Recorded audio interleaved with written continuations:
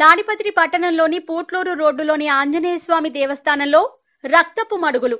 గుర్తు తెలియని వ్యక్తి హత్యకు గురైనట్లు అనుమానిస్తున్న స్థానికులు. విచారిస్తున్న పోలీసులు.